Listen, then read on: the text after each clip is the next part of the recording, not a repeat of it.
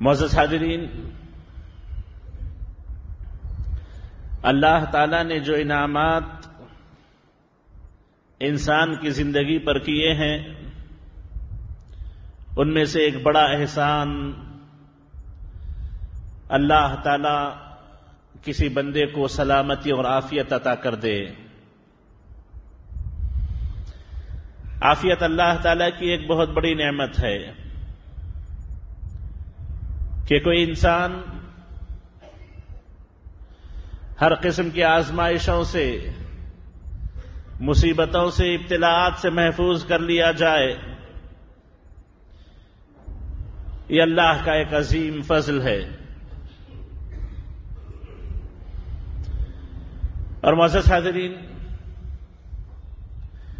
اسلامی تعلیمات میں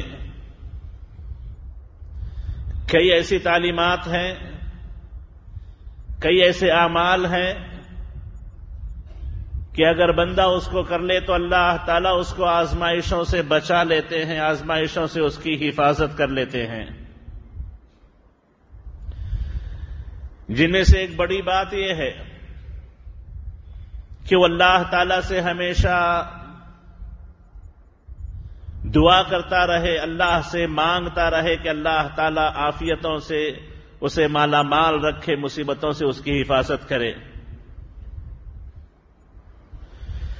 نبی کریم علیہ السلاۃ وسلام نے جو دعائیں سکھائیں، اس میں سے ایک دعا یہ بھی تھی اللهم إني أعوذ بك من زوال نعمتك وتحول عافيتك وفجاءة نقمتك اے اللہ تعالیٰ، میں تجھے اے اللہ تعالیٰ، میں تجھ سے اس بات کی پناہ مانگتا ہوں کہ تو نے مجھ پر جو نعمتیں نازل کی ہوں، وہ نعمتیں مجھ سے ہٹ جائیں، چھن جائیں۔ اور جو عافیت تو نے مجھے عطا کی ہے، وہ آفیت سے میں محروم ہو جاؤں، وہ آفیتیں بدل جائیں، مصیبتوں میں، آفتوں میں۔ میں اسے تیری پناہ طلب کرتا ہوں۔ اور اچانک تیری ناراضگی، تیرا غصہ، تیرا عقاب۔ یہ مجھ پر نازل ہو جائے، میں اللہ تعالیٰ اس سے تیری پناہ طلب کرتا ہوں۔ یہ دعا بندے کو بارہا کرتے رہنی چاہیے کہ آفیتوں سے ہٹ کر کے مصیبتوں میں مبتلا ہو جانا، نعمتوں کا چھن جانا۔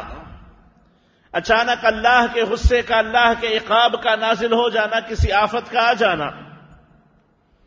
اس سے ہمیشہ بندے کو اللہ کی پناہ طلب کرنی چاہیے، اللہ سے دعائیں کرتا رہنا چاہیے۔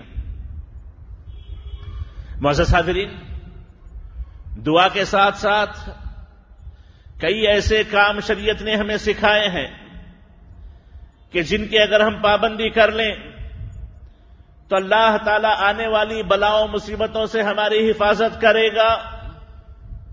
اور اللہ تعالی آئی ہوئی بلاؤں کو نازل ہوئی مصیبتوں کو اللہ تعالی ٹال دیتا ہے۔ ان میں سے جیسا میں نے کہا کہ دعا ایک بڑا اہم سبب ہے۔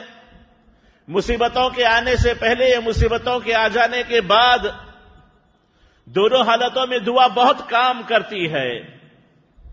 بلکہ جیسا نبی کریم علیہ السلاط وسلام نے کہا کہ دعا تقدیر کو بدل دیا کرتی ہیں۔ اور اسی طریقے سے صدقہ و خیرات کہ بندہ اللہ کے راستے میں خرچ کرے، یہ مصیبتوں سے نجات کا ایک بہترین